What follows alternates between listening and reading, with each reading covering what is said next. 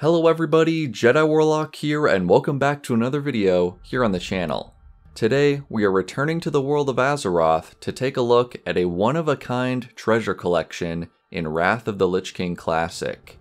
Atop the Utgarde Pinnacle, King Ymiron sits on his throne, lording over all the Vrykul clans in service to the Lich King. During his rule, he has amassed quite the fortune, which can be found nearby in the King's Hoard, a massive vault containing countless gold, gems, and historical artifacts. I'm going to be taking a look at these treasures and breaking down where they could have been taken from across Northrend and beyond. As always, thank you for your comments and your support of the channel, and let's get right into it. Let's start small you might notice, embedded in the piles of gold are some glowing blue crystals.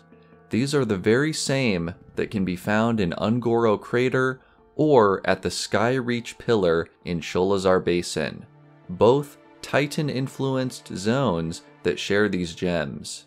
The Dragonflayer Vrykul are seasoned flyers, and it's not hard to believe they may have stopped by the basin to pillage some of these nightlights. In these piles, there are also some vases and pots that appear to be elven or troll in nature.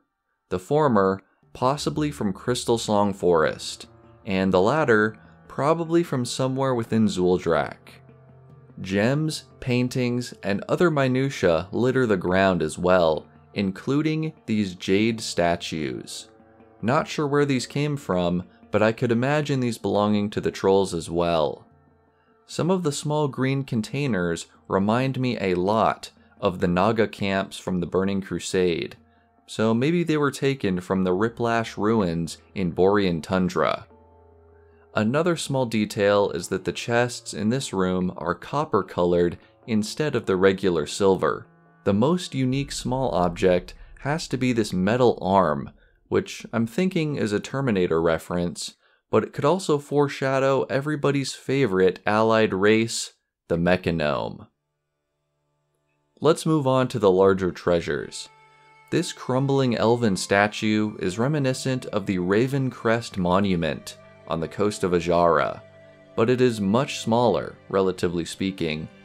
My bet would be any of the elven ruins along the southern coast of Northrend could have once been the home for this statue, from the Riplash Strand to the Moonrest Gardens in Dragonblight. There's also a large gear nearby, which could belong to any Titan mechanism on the continent, or perhaps it is a more recent find from an Explorers League outpost. This golden high elven archer is pretty neat, and I couldn't think of any other instances of this object in the game. If I had to guess, I would say Quel'Thalas, since it looks pretty similar to Sylvanas. So if any of you have seen another copy of this statue, let me know in the comments below. Next up is this stone centaur, which is pretty out of place on a continent without any centaur. It looks similar to those found in the Maraudon dungeon on Kalimdor, but how it ended up here is anyone's guess. The Sea Witch idol is obviously from a Naga establishment, the closest to being the Riplash ruins before it was taken over by the Kvaldir. On the other side of the room we have some more interesting finds.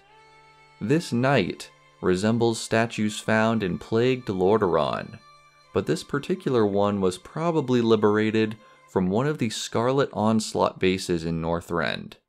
The same goes for this Admiral statue, which seems to be a copy of the Barean Westwind memorial found in the Scarlet Monastery.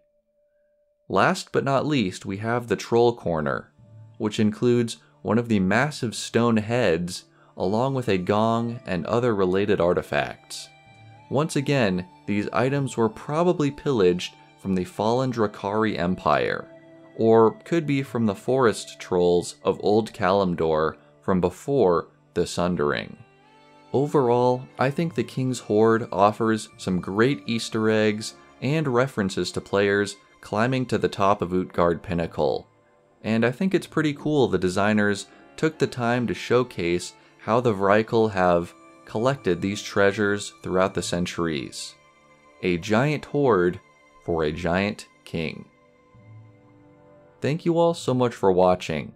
If you enjoyed the video, make sure to leave a like, comment down below with your thoughts, and subscribe if you're new to join the Jedi Order. Until next time, may the Force be with you.